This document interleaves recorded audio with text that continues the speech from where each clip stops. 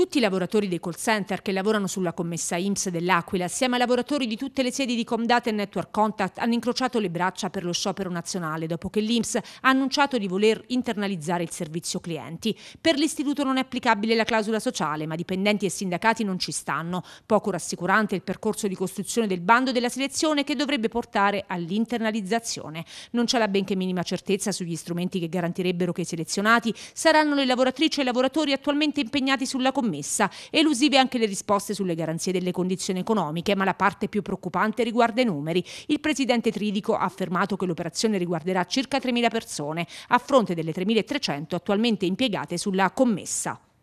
I lavoratori sono 500 e il rischio è di perdere il posto di lavoro perché giustamente non, eh, se, se l'Inps continua con l'idea di fare il bando pubblico i lavoratori non sono tutelati, quindi c'è il rischio che 500 lavoratori restino a casa. Noi chiediamo due cose. La prima cosa che chiediamo è innanzitutto l'applicazione dell'unica legge che legittima il mantenimento del, dei posti, quindi di lavoro, la 11-2016, cosiddetta clausola sociale. La seconda cosa chiediamo interventi mirati, interventi pesanti della politica che ci sostenga appunto a questa situazione e faccia in modo da cambiare l'articolo 5 bis della 101 che permette appunto l'utilizzo della clausola sociale che garantirebbe il perimetro occupazionale e economico dei lavoratori attuali. Il territorio aquilano e in particolar modo la città di L'Aquila non può permettersi di perdere nemmeno un posto di lavoro.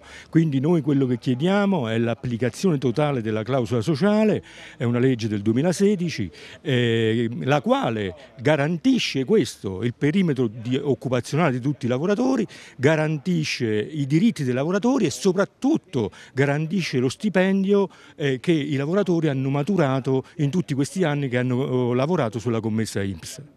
A sostenere la battaglia di lavoratori e sindacalisti anche molti politici di destra e sinistra e il sindaco per Luigi Biondi che ha portato la solidarietà del comune. Il ministro Orlando e Tridico ha detto Biondi devono sedersi a un tavolo e trovare una soluzione perché si può fare. Nel dossier che il sindaco darà al Premier Draghi domani e al ministro Carfagna è stata inserita anche questa questione.